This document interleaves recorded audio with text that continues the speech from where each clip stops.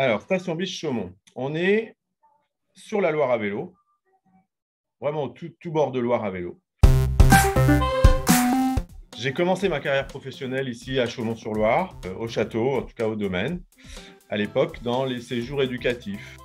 Je suis passé ensuite par l'éducation spécialisée et puis je reviens à Chaumont-sur-Loire, en effet, avec euh, Station Bise et surtout faire découvrir encore notre patrimoine euh, au bord de Loire. On a en effet un service de location avec une trentaine de vélos ici sur site au départ de Chaumont. On livre de électrique, neuf et occasion. On entretient des vélos, pas que électrique, tout vélo. Euh, et on dépanne, du coup, puisqu'on est sur la Loire à vélo, on dépanne beaucoup en pleine saison.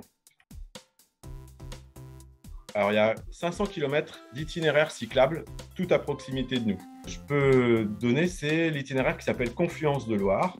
C'est une boucle qui fait une quarantaine de kilomètres, qui va être celui qui, euh, au départ d'ici, va être le plus représentatif de notre territoire. Il va y avoir un petit peu de bord de Loire sur une piste cyclable sur 6 km. On remonte sur le coteau, parce que la Loire, il faut quand même monter et descendre un petit peu pour arriver aux, portes de Blois, pour revenir, pareil, par, euh, par l'itinéraire de la Loire à vélo jusqu'à Chaumont. Voilà, donc ça, c'est sur une journée, en faisant une pause repas et quelques visites éventuellement ou dégustations.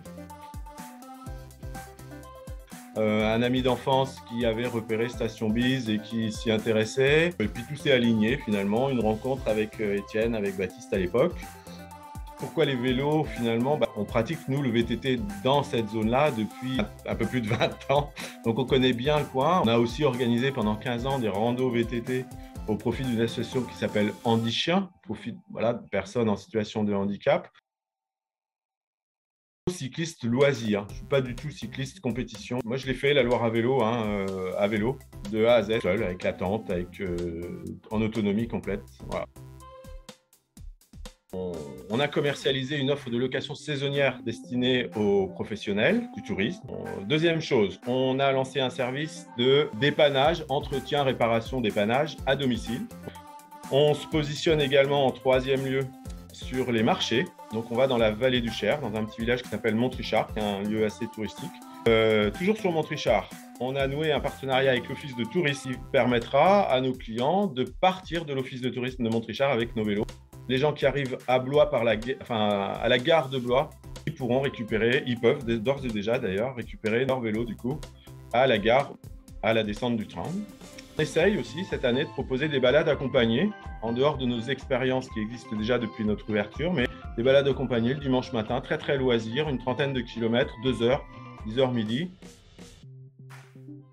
Euh, le mot de la fin, ce serait si vous venez à la station Biche Chaumont, en plus, vous aurez la possibilité de venir manger chez nous, un petit restaurant guinguette qui s'appelle Food Loire,